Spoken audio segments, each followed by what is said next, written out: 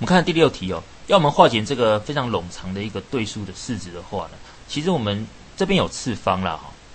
那前面有倍数，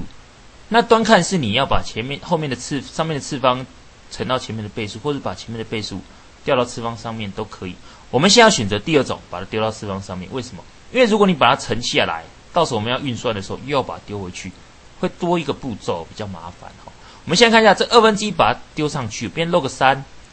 九分之二的六次，六次之后再来一个二分之一次，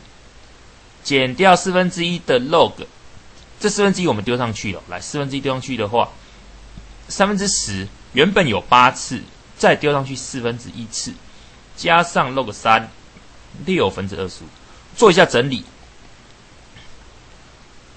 六乘以二分之一是三次方，所以九分之二的三次方是七百二十九分之八，扣掉 log 三，四八次方在四分之一，所以是二次方，三三九十乘以十一百，加上 log 三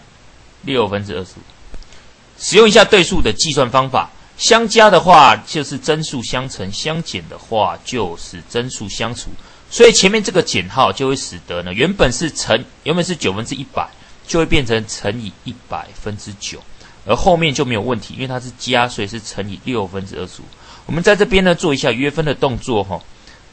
九一九九八十一，二十五一倍，跟一百约掉剩四倍，四一四四二八二三六，所以它会等于 log 三两百四十三分之一。那二四三，我们可以知道它其实是三分之一的几次呢？五次方，好，五次方，所以它会等于呢 log 三三分之一的五次方。那因为三分之一呢，它其实就是三的负一次，它就会变成 log 三三的负五，负五提出去，答案就是负五，所以答案就选择 A。